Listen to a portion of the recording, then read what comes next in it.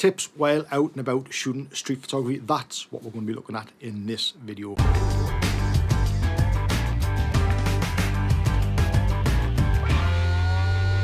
Great to see you guys back once again. Yes, in this video we're going to be taking a look at tips for street photography.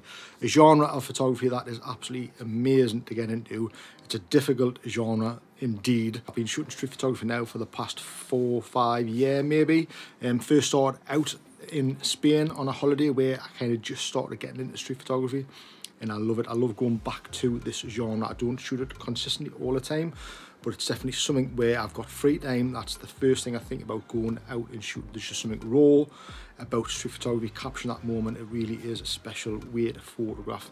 Um, difficult and a big, big learning curve. So that's what I'm here for in this video to kind of give you guys some tips that I use when I head out shooting street photography. Now, the worst thing you can actually do heading out shooting street photography, personally speaking, is just go out with no idea of what you're going to shoot and kind of just capture whatever. You go around taking random photographs of just random things with no kind of direction. Now, the way I like to do it is I like to pick specific topics whilst heading out on these outings. So in the last outing, I specifically picked motion within the images and shooting reflections. Now this is a great way to kind of train your eye to look for these things. So the more you do it, every time you go, you start seeing these things more and more in certain areas, certain places that you might not have looked at before. And it's just a great way to start training your eye to see these things whilst you're out and about. So like I say, just pick two topics that you want to shoot whilst out shooting street photography and I can guarantee that will help train your eye way, way better. So this video where I headed out around Newcastle, I deliberately went out just to shoot some motion within the images and reflections. So I went around looking for reflections um, in glass windows, anywhere I could see a reflection uh, and just started kind of looking for those things. And it really does help you narrow your vision down and helps you spot these shots that you kind of probably wouldn't see otherwise. Um, and also the motion in the images is a really great way as well to kind of add something different to the scene within your street photography.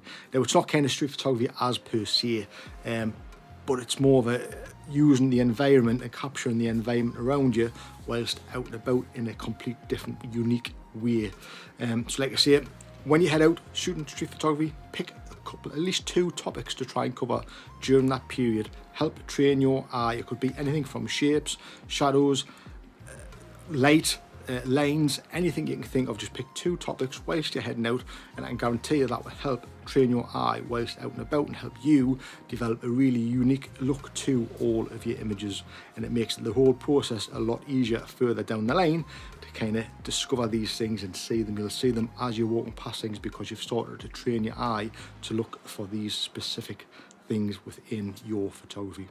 So that's my quick tips on street photography. I hope it's helped. If it has, please give it a thumbs up. Don't forget to subscribe to the channel and flick the notification bell so you can see when more videos like this are posted. Thanks very much for watching and I will see you guys in the next one. See you then.